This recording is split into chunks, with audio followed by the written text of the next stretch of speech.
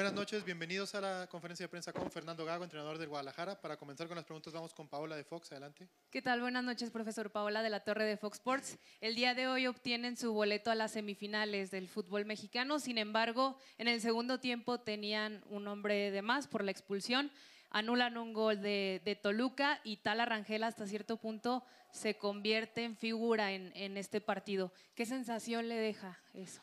Buenas noches a todos. La sensación de felicidad.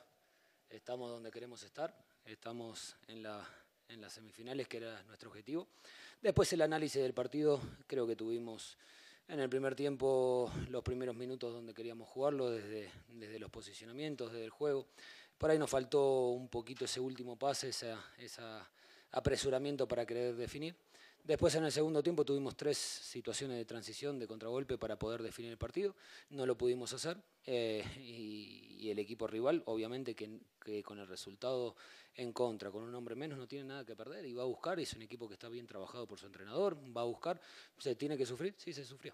Pero no pasa nada, no pasa nada porque nos hayan atacado o no o, hayamos eh, tenido la superioridad numérica en el, en el segundo tiempo que no lo supimos aprovechar, que no lo pudimos eh, tener el, ritmo de juego donde queríamos, pero estoy muy contento y muy feliz por la, por la clasificación.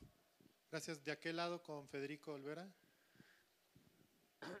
Buenas noches, profe. Gago, Federico Olvera, para Dame Bola de Radio 3 Sports. Eh, profe, todavía falta mucho camino por andar. Sin embargo, el equipo, desde aquellos juegos contra América y Cruz Azul, que perdieron y se vieron mal, pues no ha vuelto a perder.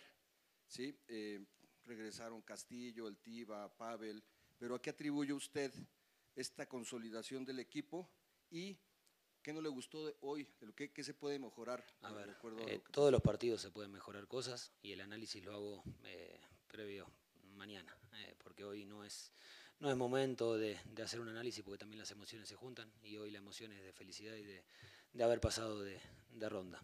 y con respecto a qué cambió, no, no, no, vuelvo a repetirlo y lo vengo diciendo en todas las conferencias. Nosotros mantuvimos la misma forma de trabajar, indistintamente del resultado, pero sí tuvimos muy claro, y los chicos lo tienen muy claro, que es el trabajo que tienen, la predisposición que tienen a, todos los entrenamientos y el compromiso real que tienen con el club. Y a partir de eso las cosas se van generando, obviamente cuando los resultados se dan todo es más positivo y estamos en, siempre tratando de buscar una mejora. Aquí al frente, por favor. Buenas noches, profe Olga de Canal 6 de Multimedios Deportes. Es su primer torneo en México y, tiene estos buenos resultados y hay un tema que me gustaría tratar con usted. El sexto lugar de la tabla general en los torneos cortos desde 1996 no se ha podido consagrar. El lugar en el que termina el rebaño es el sexto. Es un reto bastante lindo que podría ser un gran desafío y hacer que usted pasara a la historia. A ver, no, lo tomo, no lo tomo, no soy una persona que vea esas estadísticas porque creo que el rendimiento de los equipos es indistinto, no, no le doy importancia a eso. Aquí adelante de otra vez. Profe, por acá, Sebastián Díaz de Londres, Imagen Televisión y Perico Excelsior. Eh, esta victoria, el pase de las semifinales, ¿se lo atribuyes a lo que se hizo en el partido de ida y tal vez este empate en la vuelta o tal vez a los errores que cometió hoy Toluca, que a lo mejor hubieran cambiado el rumbo del partido, ¿no? ¿Qué errores de Toluca? Pues los, los, postes, la falta de contundencia en el arco. Y nosotros también tuvimos error entonces. Si lo vemos por el error desde una falta de contundencia, nosotros también la tuvimos. El partido se gana en 180 minutos. 180 minutos. Y el partido lo ganamos en los dos partidos. Pasamos de clasificación, que eso es lo importante de este lado. Gracias, profesor. Buenas noches. Eh, Javier Rojas de TUDN. Preguntarle, eh, el equipo tiene una racha impresionante de, resultados muy positivos, incluso de minutos, muchos ya sin recibir gol.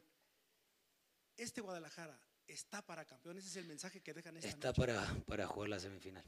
Estamos para jugar la semifinal, que ese no era, era nuestro objetivo a partir de esta serie.